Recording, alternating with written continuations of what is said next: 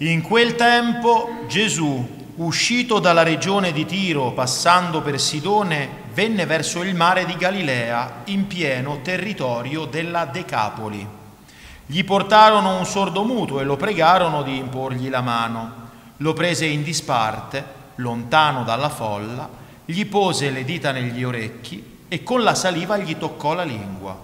Guardando quindi verso il cielo, emise un sospiro e gli disse, è fatà, cioè apriti.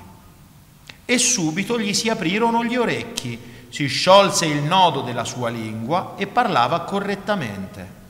E comandò loro di non dirlo a nessuno, ma più egli lo proibiva, più essi lo proclamavano e pieni di stupore dicevano, ha fatto bene ogni cosa, fa udire i sordi e fa parlare i muti. Parola del Signore.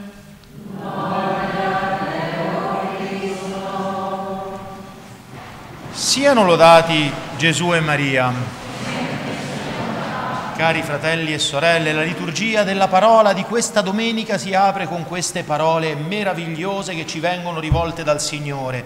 Dite agli smarriti di cuore, coraggio, non temete. Coraggio, non temete. Non siamo forse, cari fratelli e sorelle, tutti un po' smarriti di cuore, in un mondo che sembra andare al contrario, in un mondo che sembra votato all'oscurità piuttosto che alla luce, in un mondo dove a dominare è l'odio piuttosto che l'amore, in un mondo dove la discordia entra nelle più reconditi maglie del tessuto sociale, nelle stesse famiglie. La discordia, la divisione e quante prove sotto questo mondo che viene da dire a volte, Signore, ma dove sei? Perché non intervieni? Perché tanto male? Perché tanto odio? Perché tante guerre? Perché? E il Signore ci dice coraggio, non temete. E questo coraggio che Egli ci chiede di farci, togliendo ogni timore dal nostro animo, viene dalla speranza, una speranza che è certezza, certezza del fatto che Dio interviene, che Dio c'è, che Dio è presente, che viene in fin dei conti dalla fede, perché la speranza è frutto della fede e noi, cari fratelli e sorelle, spesso non siamo forse uomini e donne di poca fede. A volte, troppe volte, siamo lì in attesa di nuove profezie, di nuovi proclami, chissà cosa sarà, come sarà il futuro, che cosa mangeremo, che cosa faremo. Ma il Signore dinanzi a un atteggiamento psicoapocalittico come questo, che cosa ci dice? Non temere e non ti preoccupare del domani, non ti preoccupare di ciò che accadrà domani, perché ogni giorno basta la sua pena.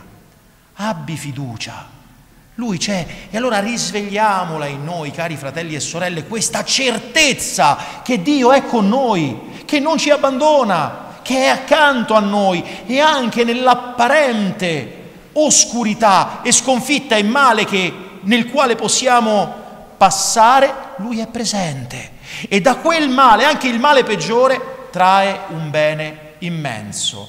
No? È la sua politica questa.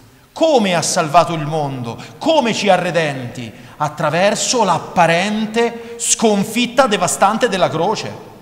A chi lo ha visto lì appeso in croce, ai suoi apostoli, è parso tutto finito. Basta, abbiamo perso tutto. Gli apostoli di Emmaus se ne andavano e Gesù lo, lo incontrano come un viandante. Che avete? Perché siete così tristi? Ma solo tu non lo sai. Noi ci credevamo, eppure persa ogni speranza, perché ancora non c'era la fede. Ma noi questa fede, cari fratelli e sorelle, l'abbiamo ricevuta nel battesimo e siamo chiamati ad esercitarla continuamente, perché la crisi del mondo sarà fino alla fine del mondo, ci sarà sempre un momento di crisi, ci sarà sempre un periodo più oscuro di un altro, ci sarà sempre contraddizione dentro la Chiesa, fuori la Chiesa, ovunque, visibilmente, perché? Perché c'è contraddizione e male nel cuore di ciascuno di noi.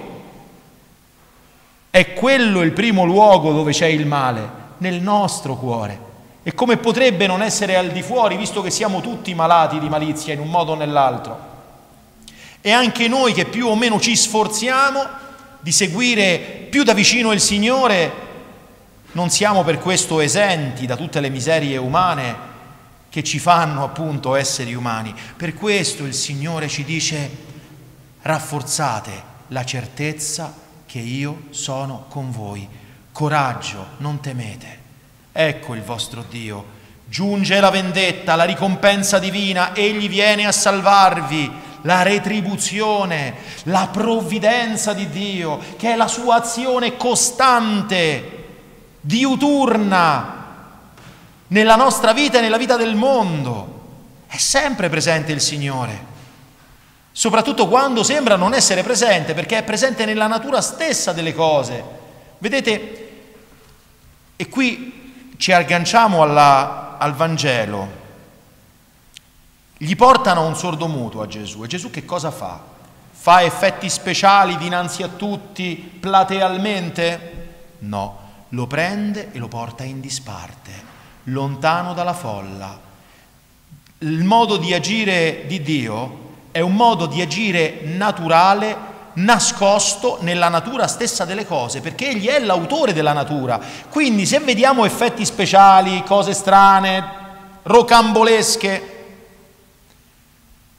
insomma dico, il Signore, se dubitiamo in quel caso, non facciamo peccato perché comunque che ci crediamo o meno nelle cose rocambolesche e spettacolari, ok, nelle azioni soprannaturali e eclatanti, che ci crediamo o meno, Dio consegue comunque il suo fine.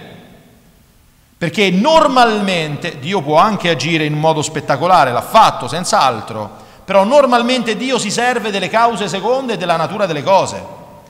A agire in modo spettacolare, eclatante, con fuochi d'artificio ed effetti speciali, è il demonio, non è Dio. Il modo di agire di Dio è un modo intimo, le cose vanno come dovevano andare, nella natura stessa delle cose.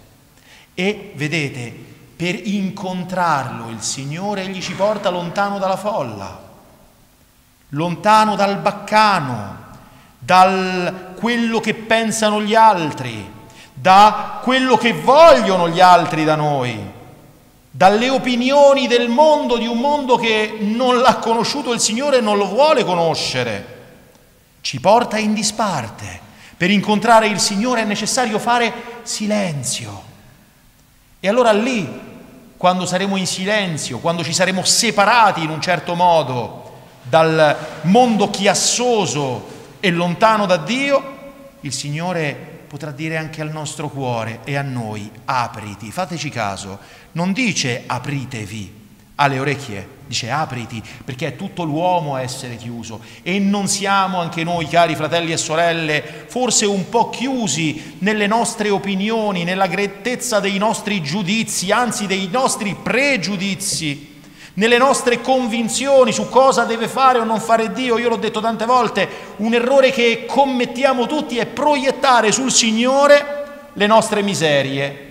E allora ci diciamo come mai il Signore non agisce in questa maniera? Come farei io, che sono evidentemente migliore a fare Dio di quanto lo sappia fare Lui? È un errore, perché grazie a Dio Dio non ha le mie miserie, è perfettissimo, le sue vie non sono le mie vie. Ripeto, lui agisce nella natura stessa delle cose e quindi qui Gesù dice apriti. E noi ci dobbiamo aprire, cari fratelli e sorelle, ci dobbiamo aprire alla parola di Dio, alla grazia del Signore, alla fede, mettendo via l'uomo vecchio permettendo al Signore di ricrearci, di farci nuovi, di permettere che sentiamo la sua parola. Vedete, questo, questa parola, il Vangelo di San Marco, mantiene la parola aramaica effata, cioè apriti, ed è lo stesso rito che svolgiamo nel battesimo. E dopo effata si diceva una volta perché tu possa ascoltare la parola di Dio e con quella parola venire alla fede nutrire la tua fede, possa ascoltare la parola di Dio e farmi interrogare dalla parola di Dio, farmi dire dalla parola di Dio quello che Dio vuole che io senta, non piegare la parola di Dio al mio gusto contro il prossimo. No. apriti. Ecco, cari fratelli e sorelle, chiediamo al Signore di aprire i nostri cuori, di aprire le nostre orecchie, affinché possiamo accogliere il dono inestimabile di grazia, di carità, di fede, di speranza che Egli ci vuole fare, perché la fede nasce dall'ascolto e la speranza nasce dalla fede. Allora capite quanto è importante ascoltare rettamente la parola di Dio, con cuore aperto scevro, libero dalle catene di un peccato e di un orgoglio che distorce tutto e che piega al proprio gusto quello che noi dovremmo accettare in spirito di umiltà. Quante volte facciamo dire al Signore cose che il Signore non ha detto? Quante volte ci convinciamo di essere giudici infallibili nei confronti degli altri, dimenticando, dimenticando che ogni pagina del, del Santo Vangelo ci dice di non giudicare? Quante volte andiamo contro quel Vangelo nel quale diciamo di credere, persi nei pensieri, nei pensieri della nostra mente, come i superbi del Magnificat. Allora, cari fratelli e sorelle, chiediamo al Signore davvero di aprirci mente, orecchi, cuore e di farci comprendere tutta la profondità, l'ampiezza, l'altezza della sua parola e di poterla accogliere e in base a questa parola riaccendere la nostra fede, la certezza della sua presenza, la certezza della sua onnipotenza, la certezza della sua onniscienza, tutti, tutte prerogative che dovremmo conoscere per il, il catechismo, Dio è l'essere eterno, onnisciente, onnipotente, immenso, può tutto, è ovunque, è ovunque. E allora di che cosa dobbiamo temere? Cosa ci deve spaventare? Un futuro incerto che lui non conosce o che può sfuggire alla sua potenza? Evidentemente no. E allora smettiamola una buona volta di andarci a cercare profeti, messaggi, rivelazioni, altre che non sono il Vangelo, che non è la parola di Dio. San Giovanni della Croce diceva che non dobbiamo andarle a cercare queste cose, non dobbiamo andarle a cercare perché Dio tutto quello che ci aveva da dirci, tutto quello che doveva dirci ce lo ha detto nell'unica parola eterna che è il suo verbo, Gesù Cristo. Lì c'è tutto e quello ci basta per vivere nella fede. E se viviamo nella fede saremo giusti perché il giusto vive di fede. E se saremo giusti saremo santi. E se saremo santi vivendo con gli occhi puntati alle cose di lassù, qualunque cosa accada qua giù non potrà ferirci, non potrà farci del male.